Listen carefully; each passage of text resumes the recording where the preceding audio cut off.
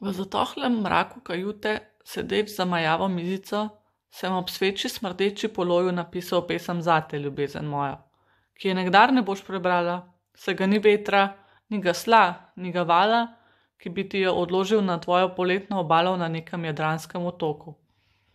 In zakaj jo potem sploh pišem? Nihče ne zna, ali pa vsak pesnik zna odgovoriti na to vprašanje, ker moram, ker je v meni pesem, ki je ne morem prebaviti, ki ne morem izbruhati, če tudi se do mrtvega napijem. Ali celo izstrati.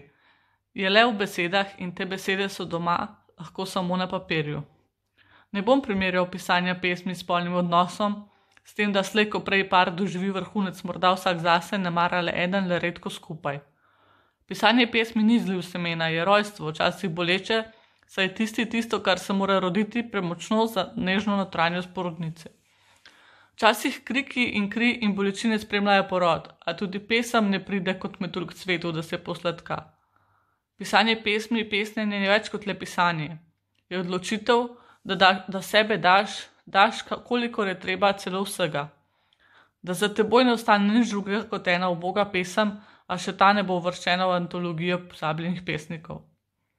Pred seboj imam list papirja, ni najboljše kakovosti, pero, ki ga namakam v skoraj posušeno črnilo, je izgubilo ostrino, tako kot moje misli. V rokah ga držim kot brata, da poskusiva, ali se sploh še da z njim kaj napisati. Morda v takšnih razmerah lahko kapitan piše svoj ladijski dnevnik, pesnik ni, ni kapitan, ne, ne piše dnevnika, vse, kar zmore, so verzi, če jih zmore. Pesnik ni mornar, je krojač kot je nekoč rekla modrovka španka. Nocoj, koliko dni, mesecev, let sem že od tebe. Ti živiš svoje lepo mlado življenje, jaz pa sem sklenil, da se postavim času po robu in da privolim njegovo skrčitev. Kot v Pavlovem pismu Rimljanom zapiše Giorgio Agamben. Če tudi sem pozorno bral tega jasnovidnega razlagalca zgodovine, ga nisem mogel doumeti. Morda je to posledica tega, ker vse več pijem in ne zmorem več zbranosti za branje filozofskih razprav.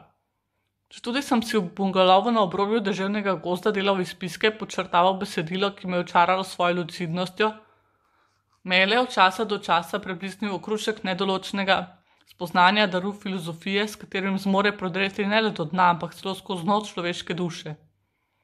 Naj bo, Bog, naj bo Bog ali Bog, to je popolnoma vseeno, nismo božji otroci, bolj smo v sorodu z orangutanjem na Borneju, tudi kapucinke se nam režijo zvej nizko nad nami ko koračimo skozi gost in smo tipično turistični avanturisti. Očarani od raznovrstnosti narave, saj doma, doma poznamo le lipe in smreke, veverice in koze, krave, morda zaslišimo še kakšnega zaljubljenega ptiča, če se dovolj zgodaj prebudimo. Sveča zatrepeta, droben piš se je prikradel v kajuto in jo upihnil. Tema.